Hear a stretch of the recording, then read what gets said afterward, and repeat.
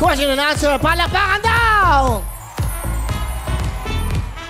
Alam nyo, galing kami ng Abu Dhabi. May mga istorya kasi. Eh, yung aming staff, eh, kakamadali, naging busy, naghahabon. Naiwan namin yung aming eh, envelope na may lamang pera. Nasa mga 34,000 sa kami mga dollars. So, yun ho ang pambayad ng tax doon sa ah, airport. So, may nagmagandang loob. Alam nyo, may isang tao sa airport na nakuha yung envelope. Nandito pa yung taong yon, si Mang Victor. Tayo kay Mang Victor. So, maraming salamat sa inyo.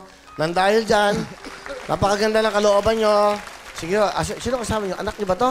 Halik kayo. Yung mga anak nyo, halik kayo. Wow. O, meron kayong, ito, pasensya na kayo rito. Ang lalaki yata to. Yung small. Medium, ha? O yan, souvenir to. Ang Bait ng tatay nyo. Napakaswerte nyo sa tatay nyo dahil tapat. O may, para sa inyo to. Okay? Mm. Ito po. Okay? Ayan, para sa inyo. Para kay Mrs. Jacket. Okay? Sige ho. Pero maraming salamat. Ito pong taong to, isang porter, yung tutulak po ng cart, doon po sa NAIA 1, Terminal 1. Terminal 2 po. Terminal 2. So, nung tinawagan ko siya, pwede ho ba kayong pumunta rito at magpasalamat sa inyo? Pero inuna pa rin yung obligasyon niya na magtrabaho para magsilbi daw po sa mga tao. Hindi niya iniisip ko ano yung bibigay ko.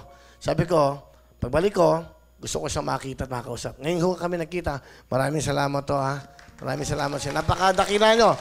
Sa namumuno po sa NAIA. Ito mga taong to ang dapat niyong binibigyan ng medalya. At it's a good thing nangyari sa amin to para nakikita sa buong mundo na may mga Pilipinong tapat sa paglilingkod sa kanilang trabaho. Maraming maraming salamat.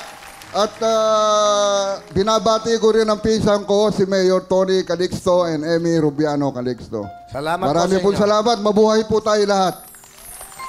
Okay. Meron ba ba kayong anak na bunso? Meron ba ba? Ito po ang pinaka... Nag-aaral ka? Anong course mo? Ha? Medtech po. O yan, 10,000 para sa inyo, ha? Huwag sa kanya sa inyo. Para sa Thank inyo you yan. po. Dahil dakila yung tatay nyo, ha?